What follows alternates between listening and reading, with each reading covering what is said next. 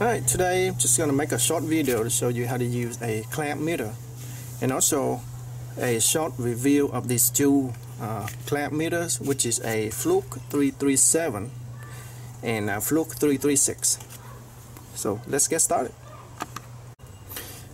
So first let's take a look at these two clamp meters. Um, unlike traditional multimeter which is powered this one here which is powered by a 9 volt battery these Fluke clamp meter is powered by two AA batteries. So it is a lot cheaper uh, to replace and this battery is easier to find too. These clamp meters have automatic shut off so it will turn off uh, automatically if you just let it idle for maybe 10-15 minutes unlike the traditional multimeter. This one here you forgot to turn it off it will stay on until the battery dies. There are two jacks below here. You can plug in your test lead. And the test lead itself has a alligator clip. So you can just plug it in like that and now it becomes an alligator clip which is very convenient and easy to use. These two meters are almost identical except just a few little detail uh, the Fluke 337 can measure amperage up to 1000 amp for both AC and DC. The 336 model can, on, can only measure up to 600 amp for both AC and DC. You can see here they are almost identical except that there's another function, the Hertz function. Uh, that's it, almost exactly the same. There's a hold button on the side. There's a backlight button. Uh, the 337 also has a extra minimum and max button, but other than that, they're pretty much the same.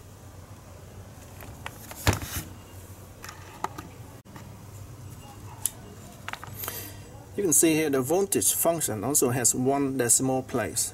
So it's only accurate up to the tenths. So you need something that's more a little more accurate, accurate that can give you more digits, and uh, you probably need a different kind of meters because this is mostly designed to measure amp with the clamps. Also for DC, it only has one decimal place. Here I have my Sunny Boy grid solar inverter and it's running right now and I want to use my clamp meter to measure the current that's coming into my um, inverter and because my inverter is hardwired directly to my solar panel and the grid so the value here should be accurate and I'm going to use that value as a, uh, a standard to compare with my clamp meter to see if my clamp meter is accurate.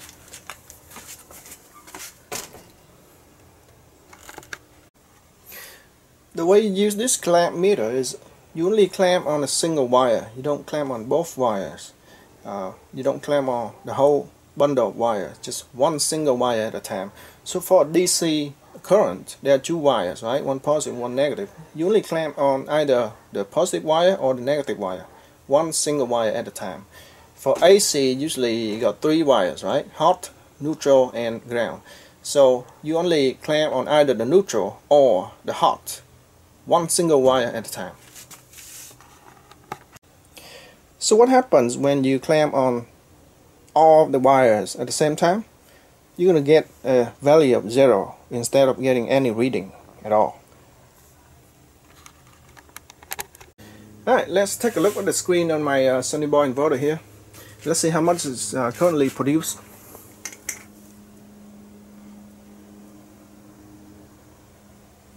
Wait for it.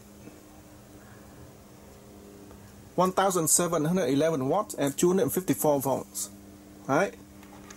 So from there we can do the math to calculate how many amp that is. So I'm going to use my clamp meter and clamp on a single wire here. Let me zoom out a little bit.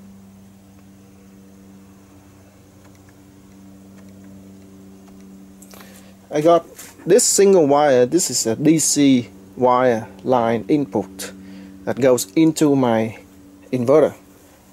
And I got my clamp meter to set up to DC amp. And let's see how accurate it is.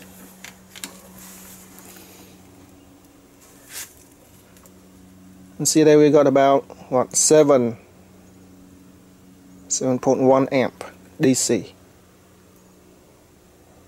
right 6.8 6.9 so let's say 7 amp DC this is the Fluke 337 right let's try the other one. This is the Fluke 336 see how accurate that is. And I got it to amp DC let me zero it. Okay zero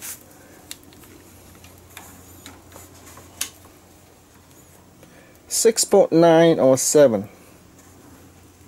So that is pretty much the same as the other one. So so around seven amp average. Right?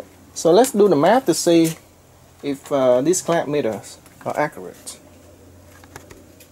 Alright, so here's my calculation. We got 1711 watts at 254 volt DC. This is my solar array voltage.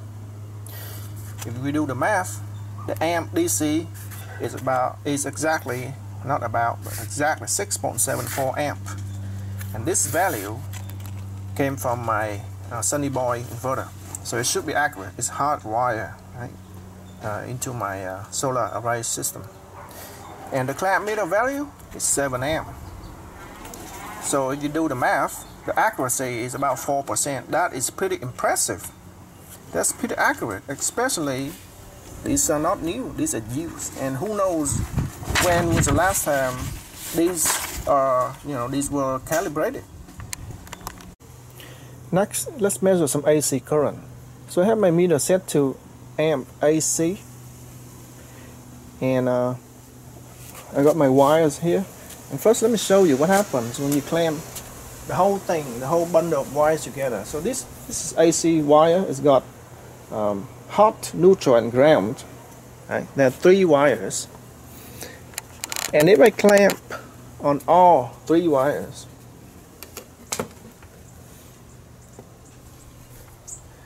you can see their value is still 0 0.1 around zero. So that's nothing if I clamp all three wires. And to measure it, to really measure it the right way, is to clamp only on a single wire. So I got my black wire, which is a hot wire. Clamp on a single wire. I got about 0 0.5, 0 0.6 amp. Right? So I have I currently have some lamps plugged in and my computer plugged in and then they consume only about what 50 60 watts so that's what we get 0.6 amp AC at about 120 volts right so show you again we clamp on the whole bundle I get nothing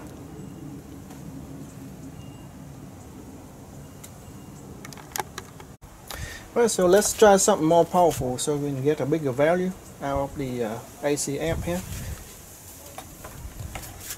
You got this plugged in and uh, let's see.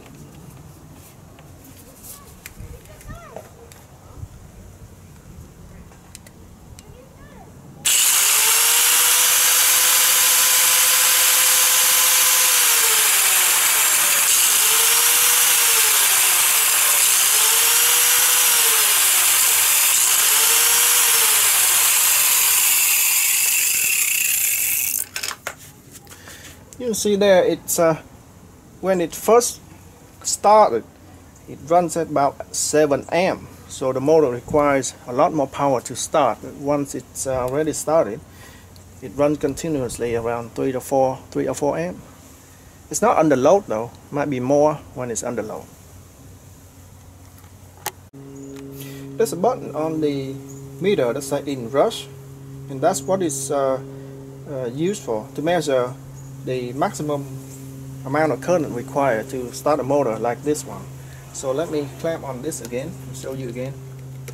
Okay so I press on inrush now. Okay so give me four bars. And now when I start this motor it's gonna give me the maximum amount of current.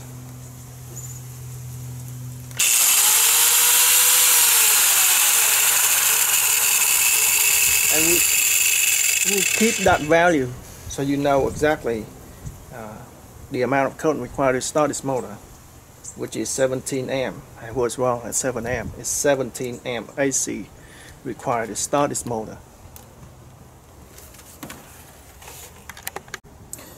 Next what I want to do is want to measure how many amp my car requires to start the engine and uh, because this thing can measure up to a thousand amp so should be no problem here.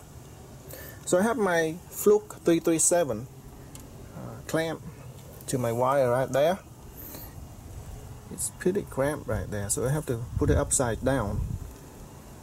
But uh, no worries because uh, my camera can go upside down. So let's see how many amp does it take to start my engine. This is a four cylinder Toyota Corolla. It's very small engine, 1.8 liter. So let's see how many amps it takes. Alright, here we go. I'm ready. Let's start the car.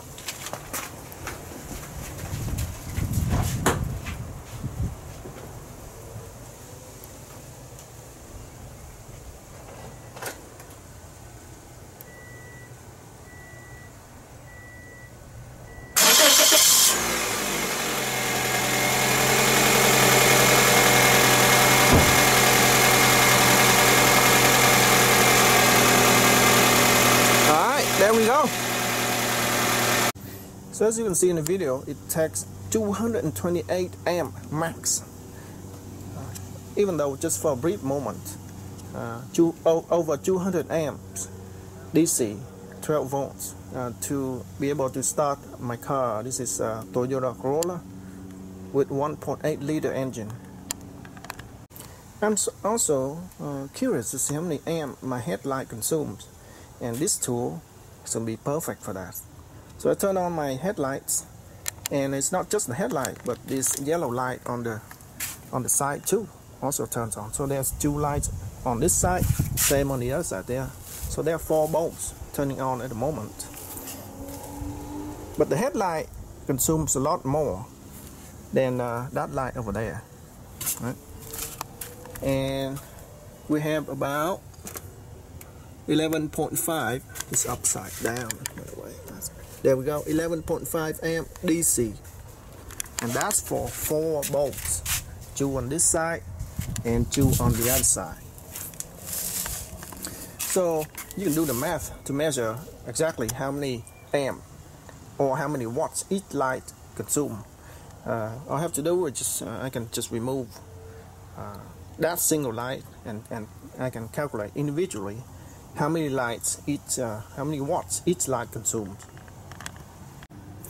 So in this case, um, all my headlights when being turned on, they all consume about 11 amp or 11 times 12, that's 132 watts for all four lights. 132 watts, that's a lot of power. So maybe you can convert these into LED, uh, it's going to be uh, a lot cheaper to run because it's going to be a lot less power required. Right, so there you have it, just a short video to show how these work and uh, a short review of these uh, clamp meters. And you know, even though they are expensive, they are very useful and they are easy to use and they are accurate. So I would say they, you know, they're worth every penny and they are the best in their class. Alright folks, and uh, thanks for watching. I'll see you next time.